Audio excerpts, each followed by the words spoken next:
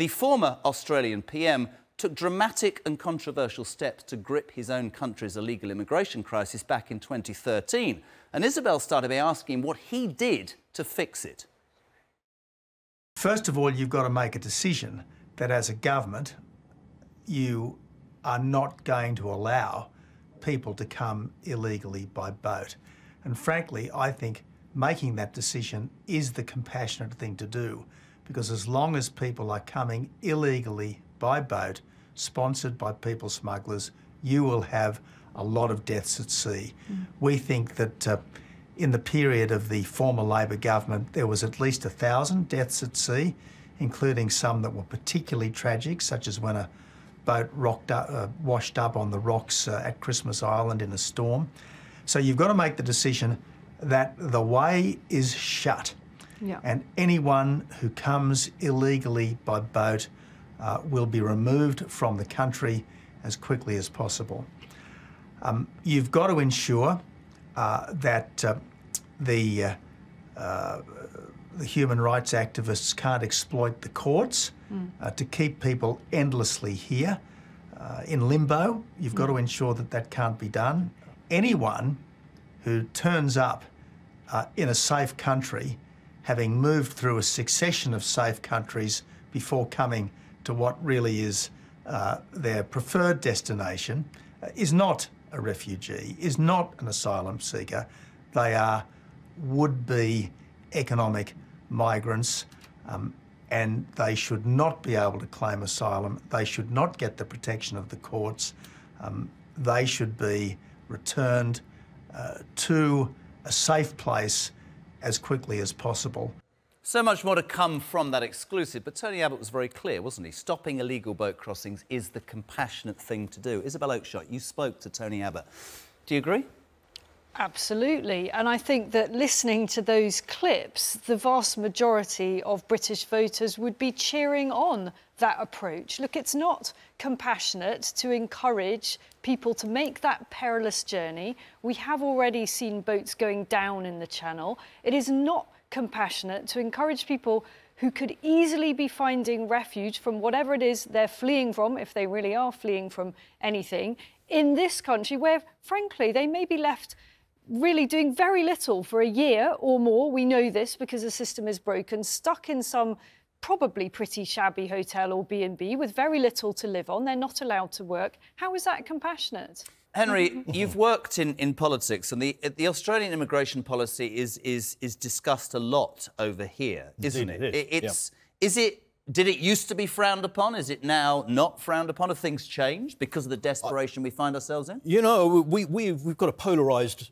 uh, response to this, haven't we? I mean, I personally think that Tony Abbott's spot on. And I think that in the UK, we've got a problem that we've got a government that, in, in your introduction, you talked about, you know, we, we expected to be able to take back control of our borders when we left the European Union. The European Union actually was, was meant and did give the power to the, the politicians in Westminster, to the British government, to do what he is saying. They've failed to do it. And we've got this polarisation in society where actually the vast, as Isabel says, the, the majority of the British population see this as chaos. Mm. They, the whole thing, the people smuggling, the, the risk to, to the migrants, and in fact, then they're also being exploited. Hmm. Um, they're not just only trying to exploit the British economy; they're trying. They're being exploited by the people smugglers as well. Yeah. Um, we see all of this, and we see the accommodation problem. And people are sick and tired of it. And all it does is demonstrate that the British government simply is not capable at the moment of getting a grip of any of these things. And so, I, you know, where, where we are, we've got this, this majority, silent majority of the population who want this dealt with, but then we've got a minority that are highly vocal, yeah. prepared to, to criticise and condemn very loudly, and for some reason, they seem to get traction, and our politicians are frightened of them. Henry, That's how I enter. It's not a minority. We're talking about worldwide criticism here. Come on. It's not just about minority. Next, you're going to tell me it's the, my fellow lefty brethren who are the who are to blame. But well, I think it's failed, actually. It's a failed and, and, government and, policy. Can I, can I, can I bring Ivon in? Because I just I want to do this slowly because in Jeremy Kyle Investigates, I want to dissect this. I want to do a deep dive because we, we touch upon this almost every night. We've got a whole hour to discuss this. Ivon, let's just, let's just, you're an immigration lawyer. chaos is a great word that Henry Bolton used. It's a chaotic mess. I hear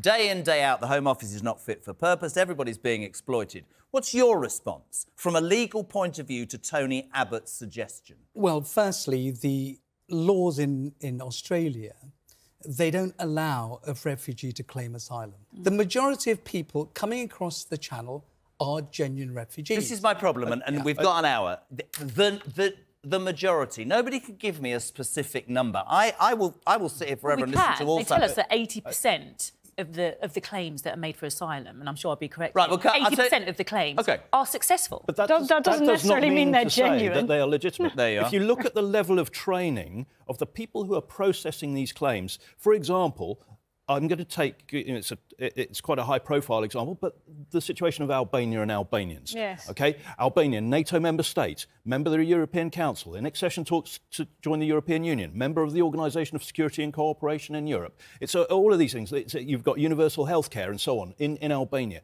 Yes, it's a poor country. These are economic migrants.